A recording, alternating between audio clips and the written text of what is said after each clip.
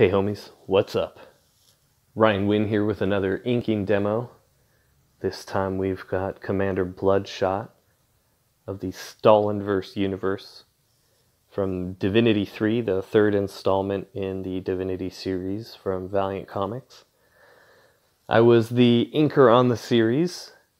Uh, my good buddy David Baron was the colorist. Trevor Hairsine was the penciler I was inking, and the script and writing was by Matt Kindt, one of my favorite writers. Um, if you like Matt's work, let me know below which uh, titles are your favorite. He's got quite a few, and they're all extremely interesting. I think my personal favorite is Divinity, but I also like Mind Management. And uh, Revolver is a really good one. I think that might have been the first thing of his I read. But anyways, yeah, I'd, I'd be curious to know, you know, what you guys like of Matt's work. And David Baron is currently coloring Detective Comics, so hopefully you guys are picking that up. Uh, he's coloring over Doug Mahnke, who's one of the top top pencilers at at DC. Uh, you may know his work. He he's you know famous for a bunch of Superman titles, action. Uh, I think he did some Green Lantern stuff in the last few years.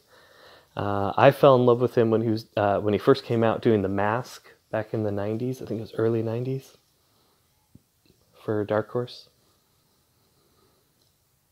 So, anyways, I uh, I was gonna post this video yesterday, but I didn't have time. I was working on a pinup for the Alterna comic uh, Tinseltown. They're going to be doing a trade paperback, and they asked me to do a pinup. You may have seen the video in my uh, on my channel here where I was inking the piece. Uh, but I ran into a lot of trouble with the colors, so I ended up turning to David Baron to help me out with that. So I didn't have time to record this, and then I figured, you know what? Uh, for some reason, my gut it always tells me to post something on Monday. I always want to post a new video on Monday, so I was like, you know what? I'll save it for Monday, and then uh, it can kind of fill the slot of uh, where I, what I would like to do in the future. Uh, many of you may have seen on Twitter I was talking about uh, and on and on Instagram too. I was talking about I want to do a sketch cover show called Sketch Cover Raw, which is not only a play on my initials R A W, but also you know we have the raw blank sketch cover and uh, do a live stream where I either take suggestions from anyone who's joined the live stream, or maybe I take a poll earlier in the week on Instagram and Twitter or, or you know wherever, and uh, or you, I might even try using the community settings in YouTube. Uh, all of that is still new to me. I'm, I'm, I'm exploring that, that stuff. So, uh, either way, the idea is to have this really fun interactive show called Sketch Cover Raw where we, you know, uh, talk about comics, talk about, you know, make suggestions, talk about whatever's going on while, while doing a sketch cover, kind of like when, uh, when I do conventions, people tend to gather around when I'm sketching and drawing, and we joke around, we talk, and we have a good time. Uh, I, I don't get distracted when I draw. I can. Um, I'm an old seasoned pro, so I can uh, I can draw and take questions and stuff like that. So, anyways, until I can get that sorted out uh, and get that started, make that a regular thing, I'm gonna be posting stuff like this as placeholders and so hopefully I can keep you a little bit entertained and uh, maybe teach you something too. So on to the tools and what's going on here. Uh, just like when I do conventions, I like to use the uh, zebra brush marker. This is the medium, or no, this is the smallest size. It's a blue barrel and uh, it's very similar to a Tombow brush marker. There's a lot of these sort of short sort of stiffer felt tip brush markers out on the market right now. And while I always prefer, you know, a pen or a brush, uh, when I'm doing a sketch cover, I, I, know, it just seems right to use these these brush markers. They go quickly. Uh, things don't have to be as refined. So here's the big reveal on uh, why I left a space in the forehead. There's a ninjak sword sticking in his head. And if you are not familiar with the series, um, it's not really a spoiler or anything, but he fights Ninjak. And since Blood, uh, excuse me, Bloodshot, I almost called him Bloodjack. Um, maybe that's a mash, a mashup I should draw. Anyways, he fights Ninjak, and he has uh, nanites. He's sort of got a healing factor, so you're not actually looking at a dead man or a person being murdered here. It's uh, somebody like Wolverine. He's uh, basically a mashup of Wolverine and, excuse me, the Punisher.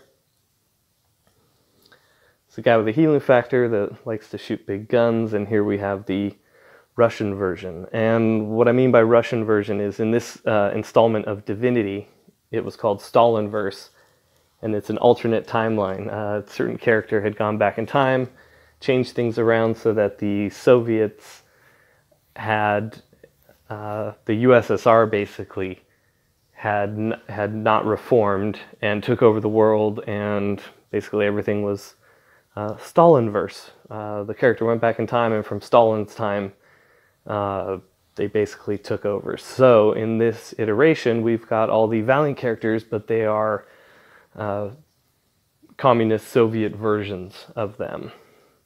So this is Commander Bloodshot. And at one point in the series, there's a really great duel between uh, he and Ninjak. And everyone seems to like that. I, I actually, I've said this in interviews and other podcasts and stuff. I, I didn't like it, the idea at first. I, I was really into where the divinity story was going and I thought this was a big distraction and I didn't I didn't think it would do that well but but people loved it. I was so wrong. Uh, all my friends, all the fans and readers, uh, it's it's some of their you know, their uh, it's many of their favorite storyline and I I guess it's because you get to have an alternate version of all these characters even if it's just for a few issues. Uh, some of them just for a few panels each issue. So I hadn't really thought of it like that. I was sort of caught up in my own personal uh, take on divinity and how different and separate it was from the rest of the Valiant universe. But in the end, uh, especially after the fourth installment, which was called Eternity, I could really see what what Matt and Warren had decided to do with it, and uh, yeah, I really, I actually, I kind of like it now. So I got to admit. I've changed changed my mind on it. So as you can see, I did very thin lines and then very thick lines for those uh, the uh, whatever you call it. I forget what it's called now. I used to know all the official parts of these swords, but there's the cloth that's wrapped around the handles. You can really bear down with these markers. They're a lot of fun. All right, what are we doing here? Oh, I did. Oh, look at that! I changed up using a big Pentel brush marker.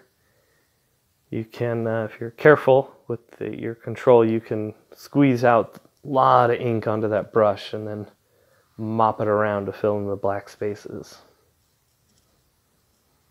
And just like always, I'm moving left to right and away and uh, from bottom to top away from me. And filling in as you move across. I guess I'm going back and forth a little bit.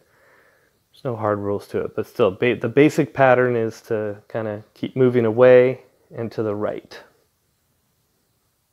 And look at that, right as I say that, I jump up there.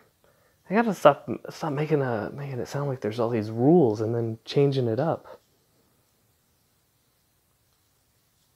So this will be for sale in a couple weeks. I am stocking up my uh, what is it called? The Storenvy store uh, or my Storenvy shop, maybe a better way to say that.